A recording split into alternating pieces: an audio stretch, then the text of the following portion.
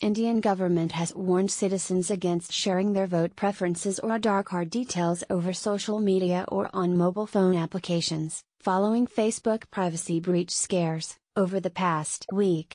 The Computer Emergency Response Team of India, CERT-In, has issued this advisory. It combats phishing, hacking threats and fortifies the country's internet domain. They should never share details like their vote preferences, PIN, passwords, credit card details, banking details, passport information, Aadhaar card and all those details which are meant to be kept as a secret for personal safety and security, an advisory issued by CERT-In said.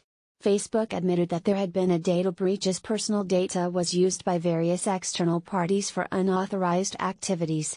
In the wake of this development, users are advised to take diligent measures to safeguard their personal data, it said.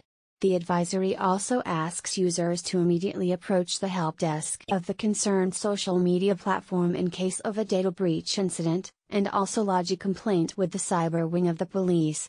Do not open the messages slash images received from untrusted sources or received unexpectedly from trusted sources. Use strong account specific passwords and a mix of different types of characters to make the password harder to crack, it states. The advisory also asked the users to close unused accounts as they could be compromised without their knowledge.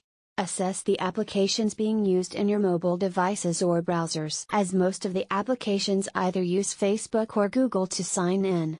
Also, keep all mobile apps updated along with regularly updating the security settings on social networks, it said.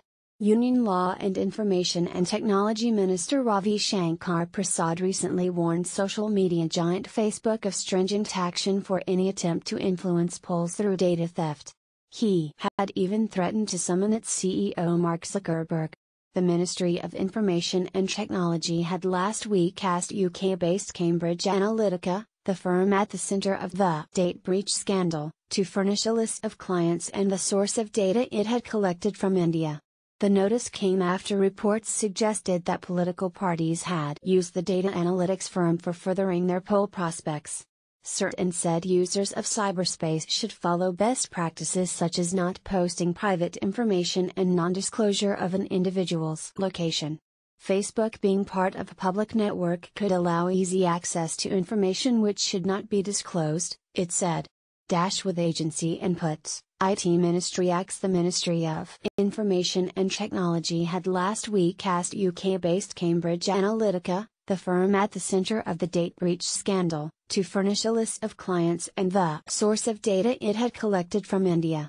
The notice came after reports suggested that political parties had used the data analytics firm for furthering their poll prospects.